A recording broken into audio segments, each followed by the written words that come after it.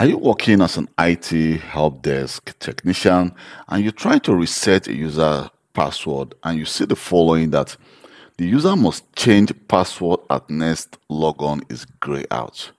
You know, as an IT service desk technician, definitely when you are changing a user password, you want to make sure that the user change his password when he log on the next time because you don't want to be the one giving the user his password and then still be using that same password, which of course is not professional. So why is this actually grey out? So now let's look at the account of Simon.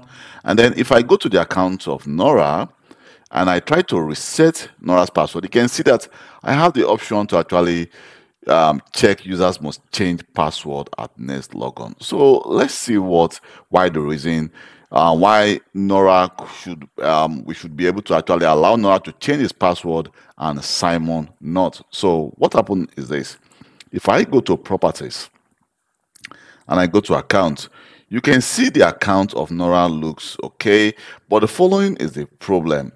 Um, here it says password never expires. So if I go to the properties of Simon and account, you can see it says the password never expires.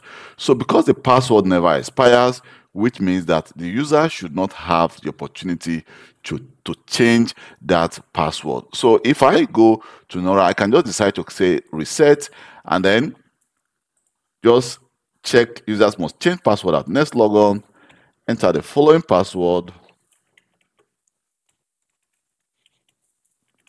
and then click OK. You can see, so the next time Nora tries to log onto his device, she is going to definitely change her password. She's going to receive a pop-up asking her to change her password. But for the account of Simon, if I try to reset, let's just reset and see.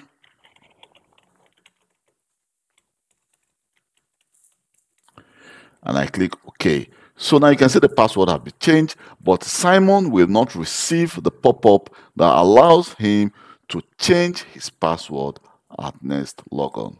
So that is actually the difference. So next time when you try to change the password of someone and you see that the, the change password at next logon is grayed out, the reason is that the password never expires. So if I decided, for example, to go to properties, go to account, and uncheck password never expires, click OK. And right now we should have the option to actually change the user's password.